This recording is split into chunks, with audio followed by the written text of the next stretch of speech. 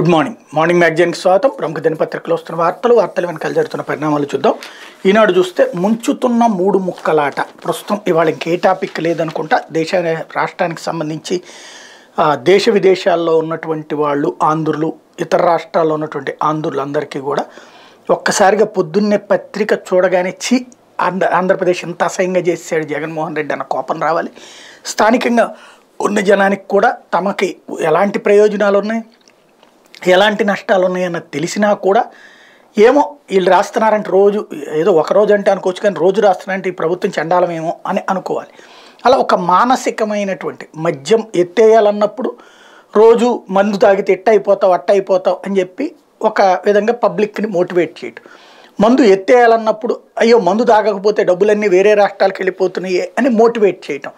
NT Ramarao మంచోడు అన్నప్పుడు NT Ramarao స్నానం చేశాడు రోడ్డు మీద స్నానం చేయడం ఎవరైనా ఇంత పెద్దోళ్ళు స్నానం చేస్తారా? రోడ్డు మీదన ఇట్లా ఎవరైనా రోడ్డు పక్కన టిఫిన్ చేస్తారా? అనే స్థాయిలో ఆయన చేసే ప్రతి చర్య అద్భుతమని చూపించాడు. అదే ఎన్టీ రామారావు మంచోడు కాదన్నప్పుడు పక్కకి తిరిగి చూశాడు లేకపోతే రాత్రిపూట డ్రగ్స్ వాడాడంట లేకపోతే అమ్మాయిల పెచ్చ ఎక్కువ ఉందంట ఇట్లాగ వాడటం. అంటే వా వార్త అనేటువంటి దానికంటే కూడా మనకి సమాచారం అందించడం అనే కంటే కూడా మనల్ని ఒక ట్రాప్లోకి లాగి తామేమనుకుంటున్నారో అది మన మెదళ్ళలో నిక్షిప్తం చేసేటువంటి ఒక మోటివేటెడ్ జర్నలిజం. తాము అనుకున్నది మన మెదళ్ళలో చొప్పించి తాము ఎవరిని భుజానేసుకుంటే వాళ్ళని తాము ఎవరిని నాశనం చేయాలనుకుంటే వాళ్ళని మన చేత్తో చేయించేటువంటి ఎత్తుగడలో భాగం ఇది. ఇందులో చూడండి. జగన్ సర్కార్ మూడు రాజధాని డ్రామాతో అని అనిశ్చితిలో కేంద్ర సంస్థలు తెలుగుదేశం హయాంలో అమరావతిలో స్థలాలు. అప్పట్లోనే నిర్మాణాలు ప్రారంభించి కొనసాగిస్తున్న కేంద్ర సంస్థ ఎన్ఐడి ఒక్కటే. అన్నీ వచ్చి ఉంటే వేల మందికి ప్రత్యక్షంగా పరోక్షంగా ఉపాధి దొరికేది ఆర్థిక వ్యవస్థకు అశనిపాతంలో వైకాపా ప్రభుత్వ నిర్ణయం. ఒక్కసారి గుర్తు తెచ్చుకోండి నేను చెప్పిన తప్పైతే. కేంద్ర ప్రభుత్వ సంస్థలన్నీ ఆ రోజున రావడానికి సిద్ధపడితే ఇక్కడున్న బిట్టు ఎస్ఆర్ఎంటి లాంటి యూనివర్సిటీలకేమో ఎకరం పాతిక లక్షలకి ఇచ్చి కేంద్ర సంస్థలకి ఎకరం నాలుగు కోట్ల రూపాయలు పెట్టి వాళ్ళు రాకుండా ఆపింది ఎవరు? ఎవరా పేరు అక్కడ? ఎందుకు రాలేదు? ఇప్పుడు కూడా ఎన్ఐటి కడుతున్నారు. పోనీ ఆ ఎన్ఐటి కడుతున్నటువంటి కేంద్ర ప్రభుత్వాన్ని ఏమైనా పొరపాటున ప్రశంసిస్తామా వంద అడిగాం మేము ఒకటే చేస్తున్నాడు. అది కూడా చంద్రబాబు మూలంగా చేస్తున్నాడు అని జనాల్లో ఫీలింగ్ క్రియేట్ చేయడమే కదా. అందుకే కదా రాంది ఇంకోటి ఆ లోపల అన్నదానికే రాలేదు. రాజధానికి ఉంటుంది కదా అని వద్దాం అనుకుంటే వద్దామనుకున్న వాళ్ళని రానియకుండా నాశనం చేసింది ఎవరు? చంద్రబాబు. కేంద్ర సంస్థలు రావట్లేదని ఇప్పుడు పడి ఏడవటం. వస్తానన్న వాటికేమో డబ్బులు ఎక్కువ పెట్టించి రానియకుండా చేసి ఇప్పుడు అది లేదని చెప్పి ఏడవటం. అది కూడా జగన్ రానియట్లేదంటూ నాటకాలు ఆడటం అనేది వీళ్ళకే చెల్లింది. అది ఇక మన అలవాటు. ఇదిగో మన పాదముద్ర అంటూ జాబిల్లి టీవీగా ముందుకు సాగిన ప్రజ్ఞా జాబిల్లిపై టీవీగా ముందుకు సాగిన ప్రజ్ఞాన్ రోవర్ ఎనిమిది మీటర్లు ప్రయాణించింది ఇస్రో. పనిచేయడం ప్రారంభించిన పరిశోధన పరికరాలు చంద్రుడు ఉపరితలంపై సాఫీగా దిగి చరిత్ర సృష్టించిన విక్రమ్ ల్యాడర్ ల్యాండర్ నుంచి ప్రజ్ఞాన్ రావర్ వేరవుతున్న అద్భుత వీడియోను భారత అంతరిక్ష పరిశోధన సంస్థ ఇస్రో శుక్రవారం విడుదల చేసింది. జారుడు బల్లలా విచ్చుకున్న ల్యాండర్ ఫలకంపై ఒడుపుగా కదులుతూ చంద్రుడు ఉపరితలంపైకి రోవర్ చేరుకోవడం అందులో కనిపించింది. సూర్యకాంతికి బూడిద వర్ణంలో మెరిసిపోతున్న జాబిల్లి మట్టిపై సగర్వంగా విస్పష్టంగా తన చక్రాల ముద్ర నిక్షిప్తం చేసింది. ఈ రోవర్ ఎనిమిది మీటర్లు ప్రయాణించినట్టు ఇస్రో ప్రకటించింది. అందులో science పరికరాలైన laser induced induced breakdown spectroscope LIBS alpha particle X ray spectrometer ఏపీఎక్స్ఎస్ని పనిచేయించడం మొదలుపెట్టినట్టు తెలిపింది అన్నటువంటి వార్తను ఇక్కడ ప్రధానంగా హైలైట్ చేశారు. ఇందులో కీలకమైనటువంటిదల్లా పనులు ప్రారంభించినటువంటి అంశం. చంద్రుడి మట్టి రాళ్ళలోని రసాయనాలు మూలకాలు ఖనిజాల మీద విశ్లేషణలు జరిపితే అంతకుముందు జారుడు బలపై ఉండగానే ప్రజ్ఞాన్ సౌరఫలకం ఇచ్చుకుంది. దాని సాయంతో రోవర్ తన రెండు బ్యాటరీలు ఛార్జ్ చేసుకుంది. ఇరవై ఆరు కిలోల ప్రజ్ఞాన్తో చేయించాల్సిన అన్ని రకాల కదలికలు క్షుణ్ణంగా పరీక్షించినట్టు ఇస్రో తెలిపింది. తాజా పరిణామంతో చంద్రయాన్ త్రీలోని ప్రొపల్షన్ మాడ్యూల్ ల్యాండర్ రోవర్లోని పరికరాలన్నీ ఆన్ చేసినట్టయిందని వివరించింది. అవన్నీ నిర్దేశిత రీతిలోనే పనిచేస్తున్నాయని అంతా ప్రణాళిక ప్రకారమే సాగుతోందని తెలిపింది. Chandrayaan two ఆర్బిటర్లోని high resolution camera. Chandrayaan three ల్యాండర్ను చిత్రీకరించిన రెండు ఫోటోలను శుక్రవారం ఉదయం ట్విట్టర్ ద్వారా ఇస్రో షేర్ చేసుకుంది. నా నిఘా నీపై ఎప్పుడు ఉంటుందని ల్యాండర్ను ఉద్దేశించి ఆర్బిటర్ వ్యాఖ్యానిస్తున్నట్టు సరదాగా పేర్కొంది. ప్రస్తుతం చంద్రుడి చుట్టూ ఉన్న కెమెరాల్లో ఈ ఓహెచ్ఆర్సీ అత్యుత్తమ స్పష్టతతో చిత్రాలను అందిస్తున్నట్టు తెలిపింది. ఒక గంట తర్వాత ఈ చిత్రాలను ట్విట్టర్ నుండి తొలగించింది. దీనికి కారణాలు వెల్లడించలేదు. చంద్రయాన్ త్రీ విజయం నేపథ్యంలో ఇస్రో శాస్త్రవేత్తలను ప్రత్యేకంగా అభినందించారు. నరేంద్ర మోడీ శనివారం బెంగళూరుకు వస్తున్నారని రాశారు. ఆల్రెడీ వచ్చేసారు కొద్దిసేపటి క్రితం. అక్కడికి చేరి వాళ్ళని అభినందించారు. శాల్యూట్ చేశారు వాళ్ళకి. లేకపోతే టమోటా కిలో పది రూపాయలు. నేను మొన్ననే చెప్పాను రెండు వందలు వెళ్ళిందని వీళ్ళే రాస్తారు పది రూపాయలు వెళ్ళిందని వీళ్ళే రాస్తారు. వాస్తవంగా ఒడిదుడుకులు మార్కెట్ రీతులు లెక్కలు ఉంటాయి కానీ చూడండి నాలుగు రోజులు పోతాయి పత్తికొండ మార్కెట్లో రైతులకు నిరాశ. రెండు నెలలుగా ఆకాశాన్ని టమోటా ధరలు ఒక్కసారిగా పడిపోయినాయి. కర్నూలు జిల్లా పత్తికొండ వ్యవసాయ మార్కెట్ యార్డ్లో టమోటా కొనుగోలు శుక్రవారం పూర్తి స్థాయిలో మొదలయ్యాయి. రైతులు తొలి రోజే సుమారు పది టన్నుల వరకు సరుకు మార్కెట్కి తెచ్చారు. వేలంలో క్వింటాలు టమోటాకు వెయ్యి కంటే తక్కువ ధర పలికింది. అంటే కిలో పది రూపాయలు కూడా దక్కలేదని రైతులు వాపోయారు. చిత్తూరు అనంతపురం జిల్లాలో అధిక దిగుబడి రావడం వల్ల ధరల పతనం అవుతున్నాయని వ్యాపారులు చెప్తున్నారు. మరియు బహిరంగ మార్కెట్లో వినియోగదారులు మాత్రం కిలో టమాటాని ముప్పై నుంచి నలభై వరకు వెచ్చించడం తప్ప అన్నటువంటి వార్త రాశారు. కాకపోతే గిరిపుత్రుల అభ్యున్నత కృషి విద్య ఆర్థిక సామాజిక రంగాల్లో చేయూతనిచ్చే ముఖ్యమంత్రి జగన్ గిరిజన విశ్వవిద్యాలయానికి శంకుస్థాపన మాతృభాషలకు పెద్దపేట కేంద్ర మంత్రి ధర్మేంద్ర ప్రధాన్ వైకాపా ప్రభుత్వం నాలుగేళ్ళ పాలనలో విద్యా వైద్య వ్యవసాయ రంగాల్లో గిరిజనులకు అధిక ప్రాధాన్యం కల్పించామని సామాజికంగా ఆర్థికంగా రాజకీయంగా ఎదిగేందుకు కృషి చేశామని వారిని విద్యా సాధికార దిశగా తీసుకెళ్ళామని సీఎం జగన్ చెప్పారన్నటువంటిది నేను ఏదైతే గిరిజన యూనివర్సిటీ ఇనాగరేషన్ సంబంధించినటువంటి అంశాన్ని హైలైట్ చేశారు.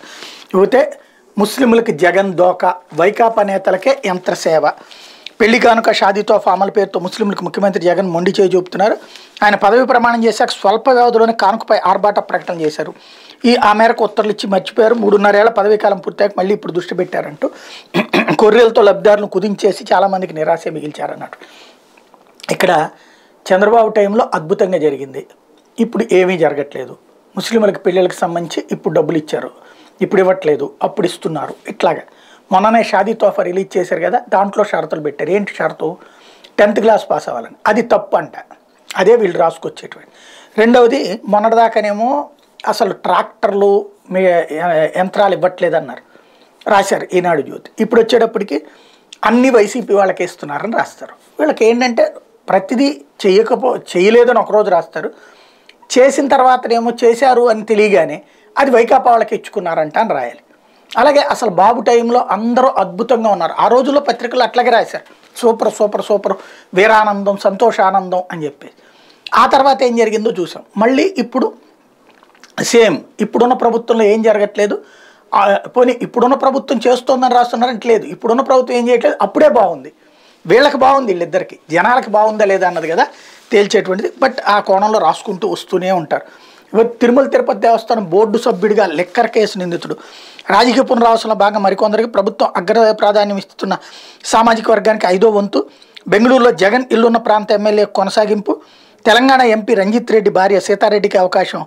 అర్ధరాత్రి ఉత్తర్వులు విడుదల చేశారు అన్నటువంటి వార్తని హైలైట్ చేశారు. ఇందులో ఒకటి మాత్రం పచ్చి తప్పు. విజయసాయిరెడ్డి విజయసాయి రెడ్డి అల్లుడు కాబట్టి శరత్చంద్రారెడ్డికి ఇచ్చారంటే అతను ప్రస్తుతం కేసులో లిక్కర్ స్కామ్లో నిందితుడిగా ఉన్నాడు. అప్రూవర్గా మారాడు. అప్రూవర్ అంటే ఏంటి? నేరం చేసినట్టు అంగీకరించి తను ఒప్పుకుంటున్నట్టు లైక్ దస్తగిరి. బట్ ఇక్కడ అవకాశం ఇచ్చారు. ఆయనకు కూడా ఇచ్చారు. ఇది తిరుమల తిరుపతి దేవస్థానానికి సంబంధించినటువంటి పాలక మండలి ఎంపికలో ఆశ్రిత పక్షపాతానికి ఇచ్చినటువంటి ప్రాధాన్యత బాధ్యత మరిచారు ధర్మం మరిచారు ధర్మం తప్పారనడానికి సాక్ష్యం ఇది. ఇందులో జగన్ చేసింది ఖచ్చితంగా తప్పే. ఇకపోతే నలభై వేల కోట్ల ఇసుక దోచిన జగన్ అంటూ నాలుగున్నరేళ్ళలో నలభై కోట్ల టన్నులు తవ్వేశారు.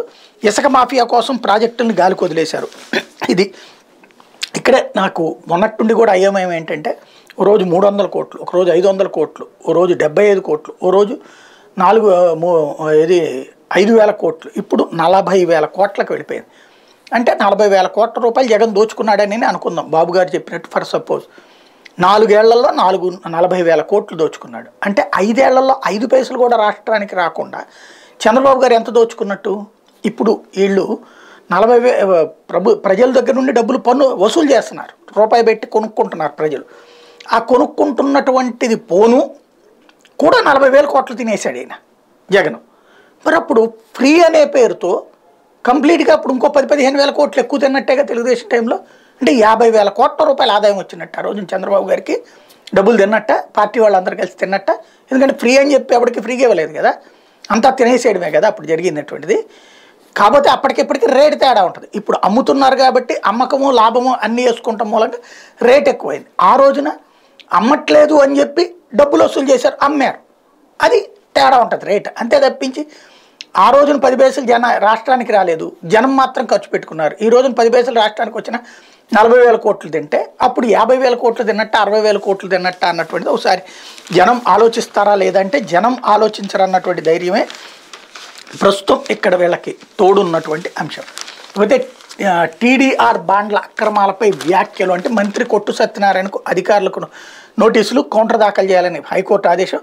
పశ్చిమ గోదావరి జిల్లా తాడేపల్లిగూడెం పురపాలక సంఘంలో టీడీఆర్ ట్రాన్స్ఫరబుల్ డెవలప్మెంట్ రైట్స్ బదిలీకి వీలున్న హక్కు పత్రాలు బాండ్ల జారీలో అక్రమాలపై హైకోర్టు స్పందించింది. టీడీఆర్ బాండ్లు జారీ చేసిన అధికారులతో పాటు వాటిని పొందిన స్థల యజమానులైన మంత్రి స్థానిక MLA Kottu Satyanarayana R Hemant Kumar R Tirumala Babu M Muralimohan Reddy తదితరులకు నోటీసులు జారీ చేసింది.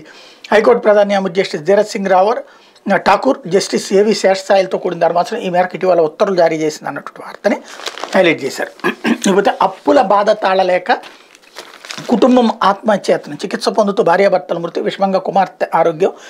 తెల్లవారితే శ్రావణ శుక్రవారం వరలక్ష్మీదేవి పూజ చేసుకునేందుకు అన్ని సిద్ధంగా చేసుకున్నారు. ఇంతలోనే తీవ్ర మనస్తాపంతో పురుగుల మందాగి దాగి పాల్పడ్డారు. ఆసుపత్రిలో చికిత్స పొందుతూ భార్యాభర్తలు మృతి చెందగా కుమార్తె పరిస్థితి విషమంగా మారింది. విశాఖ జిల్లా పెందుర్తి మండలం గోరపల్లి గ్రామంలో విషాద సంఘటన చోటు చేసుకుంది. గ్రామస్తులు పోలీసులు తెలిపిన వివరాల ప్రకారం కల్లూరు సత్యబాబు స్థానికంగా కిరాణా దుకాణం నిర్వహిస్తుంటారు. ఈయనకి భార్య సూర్యకుమారి కుమార్తె నీలిమ కుమార్తె సంతోష్ కుమార్ ఉన్నారు. సంతోష్ కుమార్ నగరంలోని ప్రైవేట్ బ్యాంకులో పనిచేస్తుంటారు. కుమార్తె నీలిమ డిగ్రీ పూర్తి చేసి ఇంటి వద్దే ఉంటున్నారు. సత్యబాబు కుటుంబ అవసరాల వ్యాపారం కోసం ఇటీవల పలు చోట్ల అప్పులు చేశారు. వాటిని తీర్చడంలో జాప్యం జరిగింది. ఆ క్రమంలో రుణదాతలు ఒత్తిడి తీవ్రం చేశారు.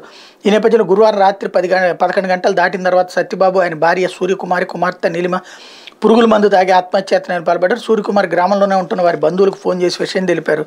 వారు గ్రామస్తులతో కలిసి అక్కడికి చేరుకుని ముగ్గురిని కేజీహెచ్కి తరలించారు. చికిత్స పొందుతూ సత్యబాబు శుక్రవారం ఉదయం మృతి చెందగా మధ్యాహ్నం భార్య సూర్యకుమార్ మరణించారు. కుమార్తె నీలిం పరిస్థితి విషమంగా ఉన్నట్టు పోలీసులు చెప్పారు. ఈ ఘటన జరిగిన సమయంలో సంతోష్ కుమార్ ఇంటి వద్ద లేరన్నటువంటి వార్తని హైలైట్ చేశారు. లేకపోతే వాన్ పిక్ కేసులో యథాతథ స్థితి ఉత్తర్వులు ప్రతివాదికి నోటీస్ ఇచ్చిన సుప్రీంకోర్టు. అంటే స్టేటస్కో వాడరేవు నిజాంపట్నం రేవుల పారిశ్రామిక నడవ వాన్ పిక్ కేసులో యథాతథ స్థితిని కొనసాగించాలని సర్వోన్నత న్యాయస్థానం శుక్రవారం ఆదేశాలు జారీ చేస్తూ ఉమ్మడి రాష్ట్రంలో వైఎస్ రాజశేఖర ముఖ్యమంత్రిగా ఉన్న సమయంలో అప్పటి ప్రకాశం గుంటూరు జిల్లాలో వాన్ పిక్ ఏర్పాటుకి రసాయల కైమతో ఒప్పందం కుదుర్చుకున్నారు. అనంతరం వైకాపా అధ్యక్షుడు ప్రస్తుత ఏపీ ముఖ్యమంత్రి జగన్మోహన్ రెడ్డి అక్రమాస్తుల కేసు విషయంలో వాన్ పిక్ సేకరించిన పదమూడు వేల మూడు వందల ఇరవై ఒక్క ఎకరాల భూములను ఈడీ జప్తు చేసింది. దీని వాన్ పిక్ తెలంగాణ హైకోర్టులో సవాల్ చేసింది. జప్తు నుంచి భూములు విడుదల చేయాలంటే హైకోర్టు ఉత్తర్వులు ఇచ్చింది. హైకోర్టు ఉత్తర్వులను ఈడీ సుప్రీంకోర్టులో సవాల్ చేసింది. Justice Ajay S Oka justice Pankaj మిత్తల్తో కూడిన విశ్వబింద ధర్మాసనం శుక్రవారం పిటిషన్పై విచారణ చేపట్టింది. వాన్ పిక్ తరపు న్యాయవాదులు వాదనలు వినిపిస్తూ ఆంధ్రప్రదేశ్ ప్రభుత్వం రసాల్ కైమాల మధ్య ఒప్పందంతో కూడిన ప్రాజెక్టు పదిహేను ఏళ్ళుగా ముందుకు సాగడం లేదని ఆరోపణలు ఉంటే విచారణ చేయలేదప్ప ప్రాజెక్టు కోసం సేకరించిన భూములు ఈడీ జప్తు చేయడం తగదన్నారు.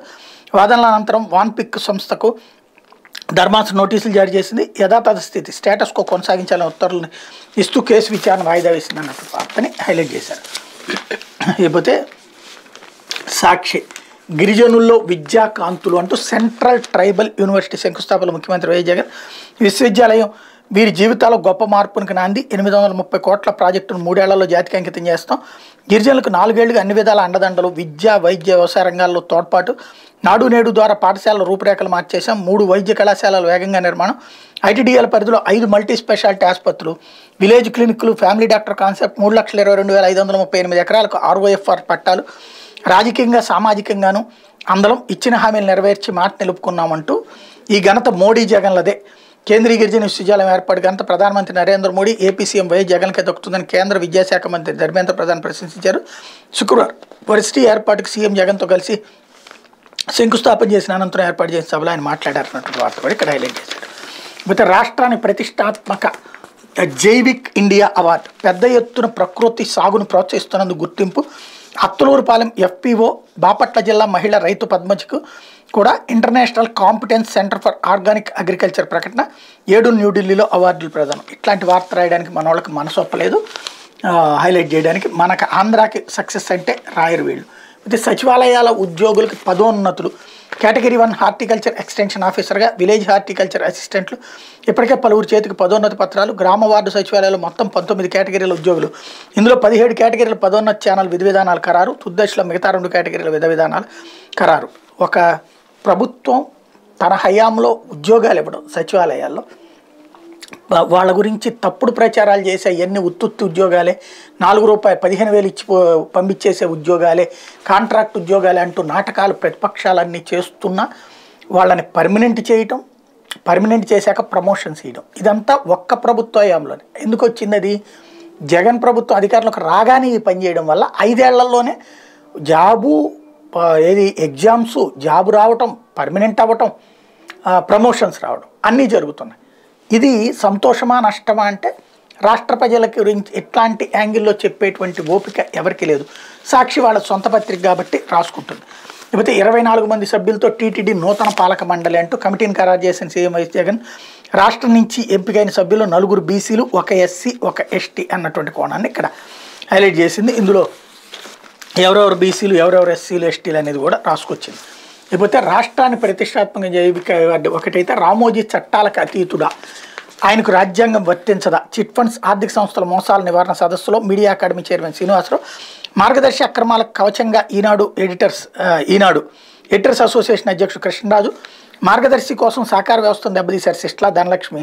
సిఐడి దర్యాప్తు చేయకూడదని ఎలా అంటారు ఆడిటర్ హనుమంతరావు? మార్గదర్శి చిట్ ఫండ్స్ కేంద్రంగా నల్లధనం చలామణి సైకం భాస్కర్ మార్గదర్శిపై కఠిన చర్యలు ఎందుకు తీసుకోలేకపోతున్నాం అశోక్ కుమార్ అంటూ. నిన్న ఒక సదస్సు జరిగింది. చిట్ ఫండ్స్ ఫైనాన్స్ సంస్థల మోసాలంటూ. ఆ సదస్సులో మాట్లాడినటువంటి వాళ్ళవన్నీ కూడా ఇక్కడ రౌండ్ టేబుల్ సమావేశాన్ని ఫుల్ ప్లెడ్జ్గా హైలైట్ చేసింది. అయితే ఫారెస్ట్ అధికారిపై చర్యలకు ఓకే చెప్పిన హైకోర్టు రంపప్ కోత మిల్లుల వ్యవహారంలో చర్యలకు అనుమతి అంటూ పర్యావరణాన్ని పరిరక్షించే బాధ్యత కేంద్ర రాష్ట్ర ప్రభుత్వంతో పాటు స్థానిక సంస్థలపైన ఉందని హైకోర్టు స్పష్టం చేసి మానవ మనుగుడికి పర్యావరణ పరిరక్షణ ఎంతో ముఖ్యమని అడవులు సదస్సులు నదులు అన్ని జీవరాశులను కాపాడుకోవాల్సిన బాధ్యత పౌరులు ప్రభుత్వాలపై ఉందని పేర్కొంది.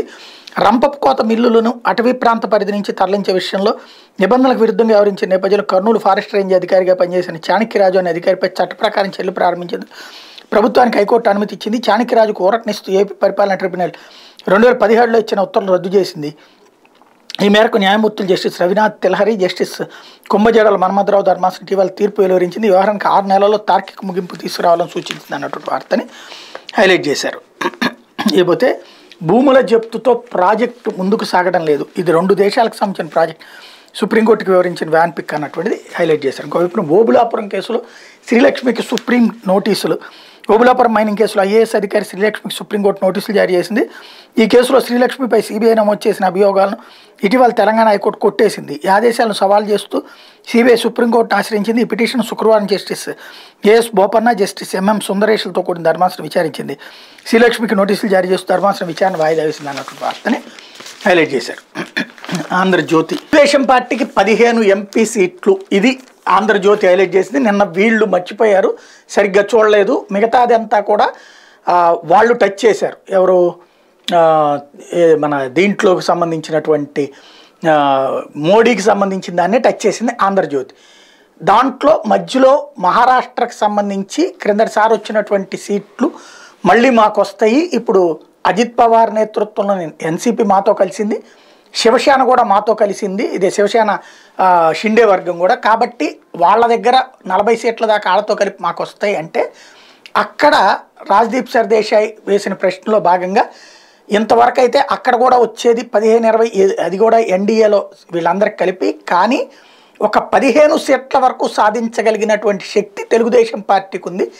ఎన్డీఏలో లేదది. ఎన్డీఏలోకి రావాలనుకుంటున్నటువంటి తెలుగుదేశానికి పదిహేను సీట్లు అన్నటువంటి పాయింట్ ప్రధానంగా చెప్పుకొచ్చింది. ఇది ఇప్పుడు ఆంధ్రజ్యోతి ఇవాళ అది నిన్న విజయ్ కుమార్ గారే వాళ్ళ పార్టీకి సంబంధించినటువంటి అధికార ప్రతినిధి ఈ మధ్యనే తీసుకున్నట్టు అధికార ప్రతినిధి అంతకుముందు చాలా సీనియర్ నాయకుడు బ్రింగ్ బ్యాక్ బాబు లాంటి తీసుకొచ్చినటువంటి ఆయన. ఆ పాయింట్తో ఆయన మెన్షన్ చేశాక ఇప్పుడు జ్యోతికి కూడా అది ఐడియా వచ్చింది. ఇది ఓవరాల్గా అయితే కనుక పదిహేను ఎంపీ సీట్లు తెలుగుదేశం పార్టీ శ్రేణులకు ఉత్సాహం వైఎస్ఆర్ కాంగ్రెస్ పార్టీ శ్రేణులకి షాక్ అన్నటువంటి కాన్సెప్ట్ ఇవాళ టచ్ చేశారు. ఈనాడు మాత్రం అది టచ్ చేయలేదు. దాంట్లో చంద్రబాబు గారి స్టేట్మెంటో లేకపోతే కనుక రఘురామకృష్ణరాజు గారి స్టేట్మెంట్లోనో ఇలాగ సర్వేలో తేలిపోయింది వైసీపీ పని అన్నటువంటి పాయింట్ని టచ్ చేశారు. ఇకపోతే ఇరవై నాలుగు మందితో టీటీడీ బోర్డు పనికొచ్చే వారి స్థానాలు పదిలం. రాజకీయ ప్రాబల్యం ఉన్న వాళ్ళకి చోటు. తమిళనాడు నుంచి నలుగురు మహారాష్ట్ర నుంచి ముగ్గురు తెలంగాణ ఎంపీ రంజిత్ రెడ్డి సతీమణికి అవకాశం అన్నటువంటి వార్తని ఇక్కడ హైలైట్ చేశారు. ఇకపోతే ఎవరి జేబులో డబ్బులు అవి ఎల్లప్పుడూ ఎందుకు రుణపడాలి? సీఎం జగన్ వింత వైఖరి పథకాల లబ్ధిదారులకు వ్యక్తిగత లేఖలు. ఎల్లప్పుడూ రుణపడి ఉంటామంటూ ప్రజల నుంచి సంతకాలు. పన్నులు అప్పుల డబ్బులే పంపిణీ. మరి జగన్కు రుణపడటం ఏంటో అంటూ మీరు నాకు రుణపడ్డారు నాకు విధేయులుగా ఉండండి ఆ రుణం తీర్చుకోండి జనానికి. ఇది సీఎం జగన్మోహన్ రెడ్డి తాజాకు. వినడానికి ఆశ్చర్యంగా ఉన్న ఇది నిజంగా నిజం. పాత పథకాలకి పేరు మార్చి అమలు తీరు మార్చిన జగన్ సర్కార్ సంక్షేమ బాబు డబ్బా గొప్పగా కొట్టుకుంటున్నటువంటి సంగతి తెలిసిందే అంటూ దాంట్లో ముఖ్యమంత్రి లబ్ధిదారుడి సంతకం. ఏంటి? శ్రీఆర్ శ్రీమతి నేనే నాకు నా కుటుంబానికి గౌరవ ముఖ్యమంత్రి వై జగన్మోహన్ రెడ్డి గారి ప్రభుత్వంలో ఇంతవరకు డాష్ పథకం ద్వారా డాష్ అక్షరాల డాష్ రూపాయలు లబ్ధి చేకూరినందుకు సంతోషిస్తున్నాను. గౌరవ ముఖ్యమంత్రి వర్యులకు మరియు ఈ ప్రభుత్వానికి ఎల్లప్పుడూ రుణపడి ఉంటాను అంటూ ఇదేందో ఇది వెర్రినాగన్న వ్యవహారం అనమాట వైఎస్ఆర్ కాంగ్రెస్ పార్టీ ప్రభుత్వం చేసే అతి అతి తెలివితేటలతో కూడిన తలతెక్క పని ప్రచారపు దురత్తో చేసే పని అని చెప్పాలి. ఎందుకంటే ఎవడైనా ఇప్పటికే ఒక విచిత్రం ఉంది. మనం ఏడున్నర దశాబ్దాలలో ఏనాడు ఎవడు చేయని పని. మామూలుగా మనం ఒక ప్లాటో స్థలమో ఇల్లు కొనుక్కుంటే మన మన సొమ్ముతో మనం కొనుక్కుంటాం. ప్రభుత్వానికి ఏం సంబంధం? ఇంకా మన దగ్గర నుంచి పన్ను తీసుకుంటుంది.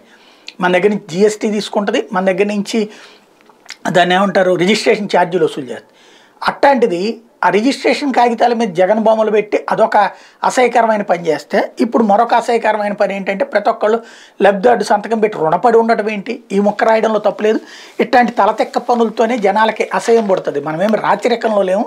రాజుగారికి విధేయులుగా ఉండడానికి ప్రజాస్వామ్యంలో ఉన్నాం అన్నటువంటిది. ఇంకా జగన్ తరపున అందరికీ రాయాలి. నేను మీకు విధేయుడిని మీరు మీకు ఈ సంక్షేమ పథకం ఇచ్చాను. ఇంకా ఇస్తూ ఉంటాను.